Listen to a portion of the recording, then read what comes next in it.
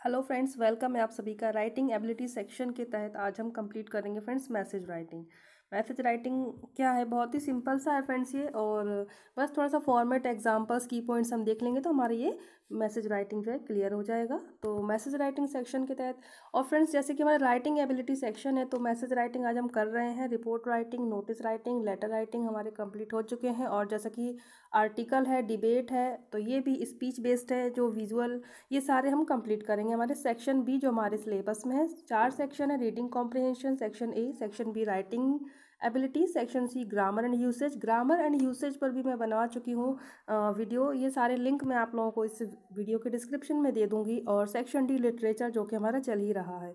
तो शुरू करते हैं आज का हमारा ये lesson, message writing. Creative writing skill के तहत ये हो रहे हैं हमारे। नोटिस राइटिंग हो गया, मैसेज आज हम देख रहे हैं। फिर ये पोस्ट कार्ड भी है, छोटा सा इसका बनेगा बिल्कुल video. Message writing friends, a message is a method of conveying information in a precise and clear manner. Information convey करना है, बहुत ही छोटे वे में क्लियर, क्लियरली बिल्कुल कुछ भी एक्स्ट्रा नहीं होना चाहिए। अब message is a short piece of informal writing. Informal writing है, फॉर्मल कुछ नहीं है कि औपचारिकताएँ निभाई जा रही हैं, ऐसा कुछ नहीं है। इनफॉर्मल राइटिंग होती है, शॉर्ट उसमें बिल्कुल short piece. Written to communicate something very important और to give instruction regarding some urgent work. और लिखा जाता है कुछ बहुत ही अर्जेंट इंपॉर्टेंट बताने के लिए और कुछ इंस्ट्रक्शन देना है उसके लिए ये लिखा जाता है फ्रेंड्स, बहुत ही शॉर्ट पीस में मैसेज। इनफॉर्मल होता है, शॉर्ट पीस में होता है, इंपॉर्टेंट कुछ कन्वे करना है और कुछ इंस्ट्रक्शन देना है, अर्जेंट है तो उसके लिए मैसेज राइटिंग हम यूज़ करते हैं। मोस्ट ऑफन, अब देखिए, मैसेज वर्ड जो होता है फ्रेंड संदेश जिसको हम हिंदी में कहते हैं, हम खुद भी यूज़ करते हैं और आजकल तो ज़माना मोबाइल का है तो काफ़ी है, लेकिन फिर भी क्या एक राइटिंग स्किल्स में ऐसा इसको माना जाता है कि टेलीफोन टेलीफोन जो कन्वर्सेशन होती है, वो उसको कैसे लिखना है मैसेज के वे में, ठीक है? Most often the input for a message comes in the form of a telephonic conversation between two peoples दो लोगों के बीच टेलीफोन पे बात हुई है, और किसके लिए? एक व्यक्ति ने कॉल किया है फ्रेंड्स ठीक है? और इन्होंने बात इनसे फ़ोन पे इन्होंने बात करी है। पर ये जो है वो तीसरे व्यक्ति के बारे में पूछ रहे हैं। ओके तो अब इन्होंने इनको बता दिया, जो भी बताना था, और अब ये व्यक्ति मैसेज लिखेगा, मैसेज ये वाला व्यक्ति लिखेगा जिसने उसका फ़ोन रिसीव किया है, और ये लिखेगा इनके लिए, इन महाशय के लिए। ठीक है तो ये हमारा हो जाता है टेलीफोनिक कन्वर्सेशन जो मैसेज में लिखते हैं। दो लोगों के बीच बात होती है फिर वो दूसरा व्यक्ति थर्ड पर्सन के लिए लिखा जाता है। The vital conversation conveyed in the conversation is to be converted into a message for a third person vital conversation महत्वपूर्ण जो बातचीत है, वो कन्वे करना है हमें तो उसके लिए उस कन्वर्सेशन को कन्वर्टेड कर देते हैं मैसेज में। जो दो व्यक्तियों के बीच बात हुई है कन्वर्सेशन हुई है, ठीक है तो उस बात को हम लोग एक मैसेज में कन्वर्ट कर देंगे, ठीक है, तीसरे व्यक्ति के लिए। अब उसको पूरी बात तो सुनाएँगे नहीं कि हेलो ये हुआ, वो हुआ, पूरा एग्जैक्ट तो नहीं बोलेंगे ना, अपनी भाषा में बोलेंगे।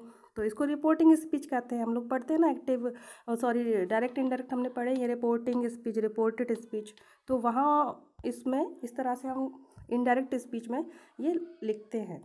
तो वही है कि जो कन्वर्सेशन हुई है कन्वर्सेशन को कन्वर्ट कर रहे हैं मैसेज में फॉर अ थर्ड पर्सन किसी तीसरे व्यक्ति के लिए कि भाई आपके लिए एक फ़ोन आया था, उसमें ये ये बोला गया है, आपको ये करना है।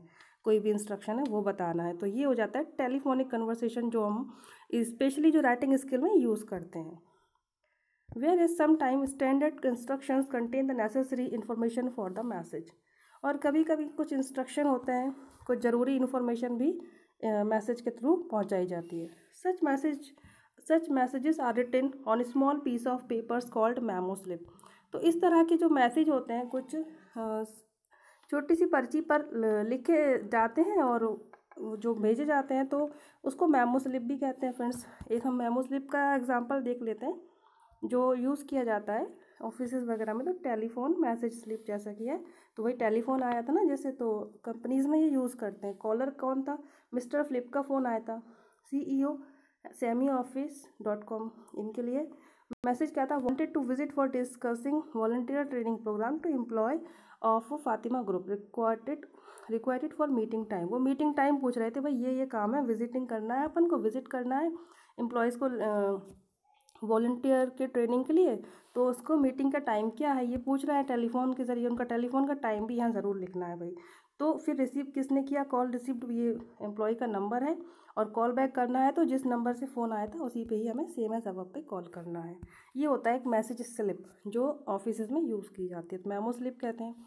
फॉर्मेट पे हम आ जाते हैं। बहुत ही ईजी फॉर्मेट है फ्रेंड्स इसका मैसेज डेट और टाइम ज़रूर लिखना है। नेम जिसके लिए मैसेज आया था और सैल्यूटेशन फिर लिख देंगे उसके लिए। Sir ma'am dear uncle father whatever content में क्या लिखना है? किसका कॉल है? वाई ही और she called follow it requires और जो एक्स्ट्रा है, जो भी बात है मेन लिख देंगे। फिर आप नीचे अपना नाम लिखोगे राइटर नेम्स ठीक है, वहाँ पे एम्प्लॉय का नेम लिखा था ना तो उसका एम्प्लॉय का सर्विस नंबर लिख दिया था। यहाँ पे आपको अपना नाम लिखना है। फॉर्मेट हो गया, बस यही है। फॉर्मेट बॉक्स में है ये, देख लीजिए। एग्जाम्पल्स में हम देख लेंगे। पहले तो देखिए जनरल इंस्ट्रक्शन भी पढ़ेंगे पर पहले इसके हम दो एग्ज़ाम्पल देखेंगे मैसेज के। बहुत ही इंपॉर्टेंट और बहुत ही ईजी वे में। तो देखिए, इस तरह का क्वेश्चन मिलता है हमें। Read the conversation between Sam and Joseph Sam और जोसेफ के बीच हो रही है बात, फ़ोन पर। Sam was going out and so he left a message for his father और जोसेफ ने फ़ोन किया है सैम को सैम के फादर से बात करने के लिए। सैम ने फ़ोन उठाया। क्या बात हुई? और फिफ्टी वर्ड्स में है ये बहुत ही शॉर्ट पीस है ना फिफ्टी वर्ड्स में। तो ये भी देख सकते हैं कि शॉर्ट पीस ऑफ़ राइटिंग है फिफ्टी वर्ड्स में लिखा जाता है। नोटिस भी फ्रेंड फिफ्टी वर्ड्स में लिखा जाता है। तो सैम और जोसेफ के बीच क्या बात हुई? जोसेफ का कॉल आता है can I speak to mister Simon तो सैम बोलते हैं I am sorry he is out of station वो तो नहीं है। जोसेफ बोलते हैं when he when is he expected back कब वापस आएँगे वो? Sam he will be home by tomorrow evening कल शाम तक वापस आएँगे। तो जोसेफ कहते हैं could you please remind him that Anil's wedding is on December thirty we had plan to go तो जोसेफ कहते हैं सैम से कि, क्या तुम उन्हें याद दिला दोगे कि अनिल की शादी है तीस दिसंबर को? और हमें साथ में जाने का हमने प्लानिंग किया था। किसने साथ में जाने का प्लानिंग किया था? जोसेफ ने और मिस्टर साइमन ने। इसीलिए जोसेफ ने मिस्टर साइमन को फ़ोन किया है। But since my son is in hospital mister Joseph कह रहे हैं कि अब लेकिन मेरा बेटा हॉस्पिटल में है I will not be going for the wedding इसलिए अब मैं शादी में नहीं जा रहा हूँ। तो यही उन्हें मैसेज पहुँचाना था कि हमने प्लान किया था साथ में जाने का, तीस दिसंबर की शादी है, पर हम लोग साथ में अब नहीं जा पाएँगे, मेरा बेटा हॉस्पिटल में है। George is going and he can join him एक और कोई व्यक्ति है जॉर्ज वो जा रहा है और मिस्टर साइमन जो है, उसके साथ जा सकते हैं शादी में। Tell him to give me a ring when he comes back उनसे कहना कि मुझे एक बार फ़ोन करें जब वो वापस आ जाएँ तो। तो सैम कहता है, श्योर अंकल। जोसेफ कहते हैं, थैंक यू सैम। ये इस तरह का क्वेश्चन मिल गया, एक टेली, टेलीफोन में जो बातचीत हुई है, वो हमारे सामने लिख दी गई। अब इससे आप मैसेज लिखेंगे। तो मैसेज कौन लिखेगा? सैम लिखिएगा किसके लिए लिखिएगा अपने फादर के लिए, क्योंकि सैम जा रहा है बाहर। और उसके फादर आ जाएँगे तो वो उसको ये बात बतानी है। तो क्योंकि उसे भी जाना है तो वो मैसेज लिख के भाई रख देगा। तो क्या लिखेंगे आंसर में? अब देख लेते हैं।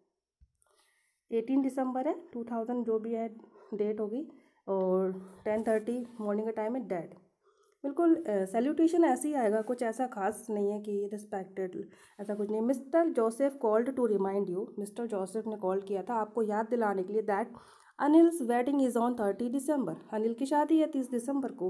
He and you had plan earlier to go together उसने और आपने मिल, साथ जाने का प्लान किया था शादी में but due to hospitalization of his son he will not be able to go for the wedding पर उसके जो बेटा है, उसका वो हॉस्पिटल में एडमिट हो गया है तो वो लोग वो साथ में आपके नहीं जा पाएँगे शादी में। You can accompany mister George for the occasion और आप मिस्टर जॉर्ज के साथ जा सकते हैं।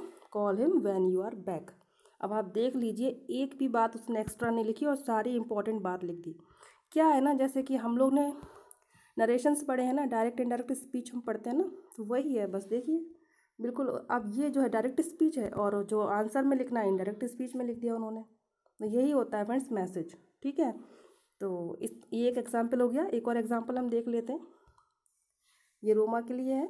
टुडे योर फ्रेंड रोज ये had called upon you when you had been to market Roma से कह रहे हैं कि उसकी मदर कि टुडे आपकी फ्रेंड रोज़ी का फ़ोन आया था और जब आप मार्केट गए थे in fact she had to tell you that your music classes shall be suspended उसने कहा है कि आपको बताने के लिए आपकी म्यूज़िक क्लास सस्पेंड हो गए हैं because your teacher is not well instead it would be held on Sunday आपकी टीचर बीमार है और वो शायद क्लास सब संडे को होगी. If you like you may talk to her और तुम्हें लगता है तो तुम और बात कर लो रोज़ी से और अच्छे से पूछ लो। तो ये रोमा के लिए मैसेज था बहुत ही शॉर्ट वे में। कि भाई उसकी म्यूज़िक क्लास सस्पेंड हो गई रोमा जब मार्केट गई थी तो उसके लिए फ़ोन आया होगा उसकी मदर के पास लाइक दिस तो ये थोड़े एग्ज़ाम्पल हैं, बहुत ही ईजी है फ्रेंड्स बहुत ही ईजी है, कुछ नहीं है इसमें. डायरेक्ट इनडायरेक्ट हमें आता है ना, बस वही चीज़ हमें यहाँ पर कन्वर्ट करनी है. चलिए जनरल इंस्ट्रक्शन हम देख लेते हैं मैसेज राइटिंग के लिए. अब message does not need an address address की ज़रूरत नहीं है. The message must be put in a box box में लिखना है. The key points are to be very brief and precise हमने देख ही लिया फ्रेंड्स एग्ज़ाम्पल में की पॉइंट्स बिल्कुल ब्रीफ और प्रिसाइज लिखनी है. Message should be written in reported speech यानी कि इनडायरेक्ट नरेशन में लिखना है। Name and signature of the sender should be put at the end of the message जिसने भी भेजा है जो भी मैसेज लिख रहा है राइटर है जो सेंडर है उसका जो है मैसेज के सबसे एंड में नेम हो सिग्नेचर हो। Abbreviation and symbols can be use in writing writing message एक मैसेज लिखते समय कोई आप सिम्बल्स होते हैं ना जो एब्रीविएशंस होते हैं वो यूज़ कर सकते हैं छोटे वे में।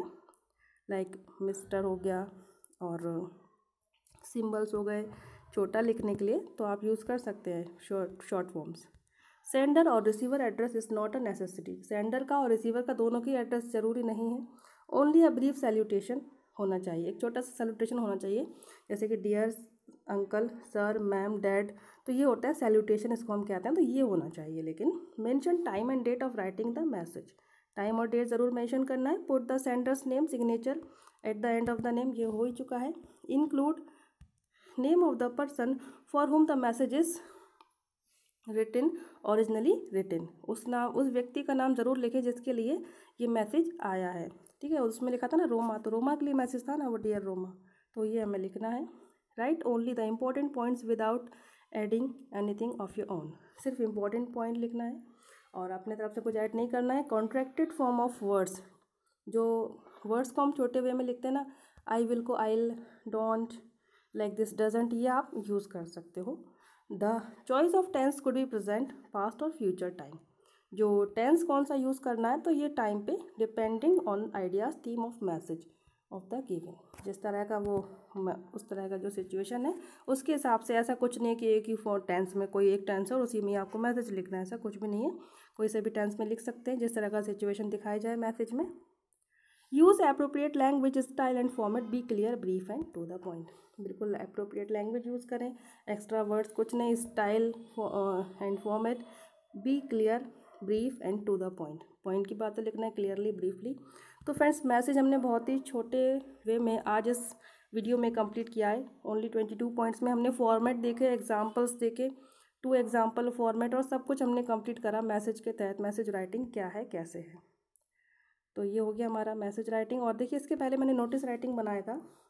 वो भी आप ज़रूर देखिए थर्टी पॉइंट्स का बनाया था फॉर्मेट है, उसमें भी की पॉइंट्स हैं और एग्जाम्पल्स पूरे दिए गए हैं। और एक और बनाया है रिपोर्ट राइटिंग फॉर्मेट है salient features thirty important points है। ये आप ज़रूर देखिए report writing notice writing writing ability section B के तहत मैंने ये वीडियोज़ बनाए हैं और लेटर राइटिंग इन सब के डिस्क्रिप्शन में बॉक्स में मैं आपको लिंक भी दे दूँगी। और आज हमने पढ़ा है राइटिंग एबिलिटी मैसेज राइटिंग ठीक है, मैसेज राइटिंग पढ़ाए, राइटिंग एबिलिटी सेक्शन के तहत।